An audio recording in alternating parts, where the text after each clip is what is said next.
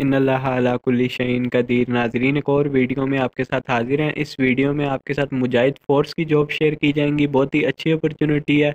पूरे पाकिस्तान से मर्द अप्लाई कर सकते हैं। तजर्बे की कोई ज़रूरत नहीं है। आपने हमारी ऑफिशियल वेबसाइट पे आ जाना है। Review Pakistani jobs. गूगल पे भी आप जाके सर्च कर सकते हैं। उसके अलावा मैं डिस्क्रिप्शन में लिंक भी दे दूँगा। यहाँ पे साइड पे थ्री लाइंस पे क्लिक करेंगे गवर्नमेंट जॉब्स पे आपने क्लिक करना है तो यहाँ से आप ये एडवर्टाइजमेंट डाउनलोड भी कर सकते हैं। इस तरह के इंटरफेस पे आएँगे, यहाँ से आपने थोड़ा सा नीचे स्क्रॉल कर देना है, ठीक है?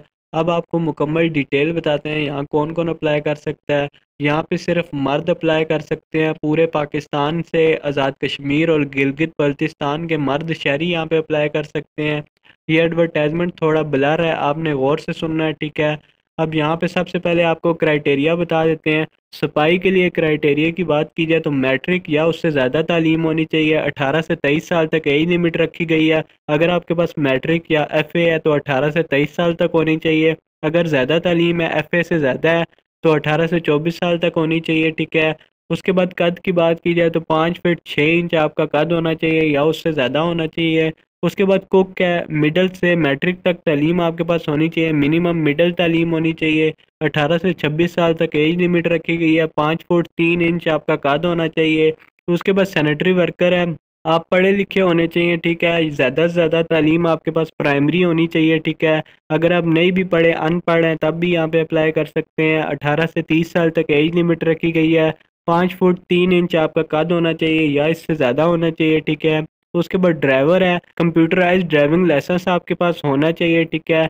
मैट्रिक तालीम होनी चाहिए या उससे ज़्यादा होनी चाहिए। अठारह से छब्बीस साल तक एज लिमिट रखी गई है। पाँच फिट छः इंच आपका कद होना चाहिए या उससे ज़्यादा होना चाहिए। उसके बाद क्लर्क है एफ़ ए या एफ़ एस सी तालीम आपके पास होनी चाहिए मैट्रिक के बाद, ठीक है। अठारह से तेईस साल तक एज लिमिट रखी गई है और ये सेकंड डिवीज़न में डिग्री आपके पास होनी चाहिए, ठीक है।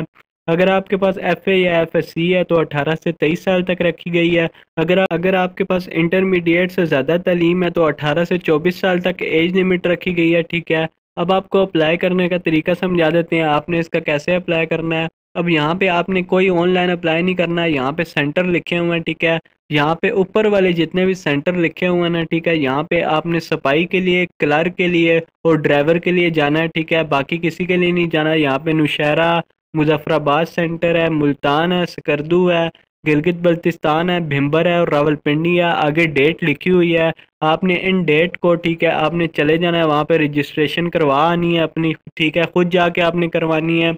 उसके बाद यहाँ पे नीचे जो सेंटर लिखे हुए हैं, ठीक है, ये सैनिटरी वर्कर के लिए हैं। और ये जो है, ये कुक यूनिट के लिए आपको बताते चलें कुक यूनिट के सिर्फ़ भिम्बर में रजिस्ट्रेशन होगी, उसके अलावा कहीं नहीं होगी। बाकी सैनिटरी वर्कर का भी यहाँ पे स्टेशन लिखे हुए हैं। स्कर्दू है नौशहरा है, मुल्तान है, मुजफ्फराबाद है, गिलगित है, भिम्बर है, उसके बाद रावलपिंडी है, ठीक है। यहाँ पे डेट्स भी ऊपर लिखी हुई हैं, पंद्रह जून और बाईस जून का, ठीक है। जो आपके करीब तरीन सेंटर है, आपने वहाँ पे चले जाना है। आपने क्या करना है? आपने इसके साथ अपने सारे डॉक्यूमेंट कौन कौन से लेके जाने हैं? ये नीचे सारे डॉक्यूमेंट लिखे हैं, ये आपने पढ़ लेने हैं, असल सारे डॉक्यूमेंट लेके जाने हैं, उनके साथ कॉपीज़ भी लेके जानी है अटेस्टेड होने चाहिए जो जो डॉक्यूमेंट आपने लेके जाने हैं, वो यहाँ पे लिखे हुए हैं, आपने डिटेल से पढ़ के ये चीज़ें साथ लेके चली जानी है और अपनी रजिस्ट्रेशन करवा लेनी है, ठीक है? तो ये थी आज की वीडियो। उम्मीद करते हैं आपको पसंद आई होगी। पसंद आई है तो चैनल को सब्सक्राइब करें, वीडियो को लाइक करें, शेयर करें, बेल आइकन लाजमी दबाएँ। अगली वीडियो में दोबारा हाजिर होंगे। तब तक के लिए इजाज़त दें। अल्लाह हाफिज़।